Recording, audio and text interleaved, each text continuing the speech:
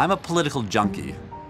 I always know what's going on. But with this election, there's a new voice on the scene. Our plan will put America first.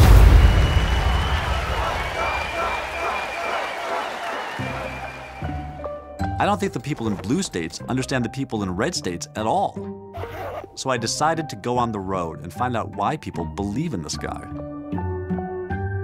I don't know what kind of president Donald Trump will make. I want to hear from you guys. What, what do you guys think? I've never heard anybody talk about illegal immigration like he has. Why do you have a lock in your house? You don't let people in there that you don't know. I want to know who's here. What Obama has done with tearing down the police, it's despicable to me. I think Mr. Trump will defend the country.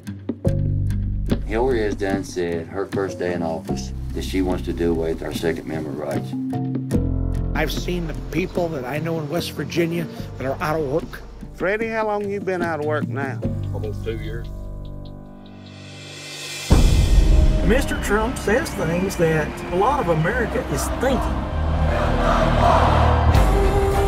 This will be the beginning of a new start for a great America.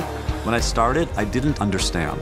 America was the greatest country ever in the history of the world, and that came out of adversity. Two years ago, I met people who said they weren't being heard. Now I wonder if the man they claimed was listening isn't pushing us all to the very brink.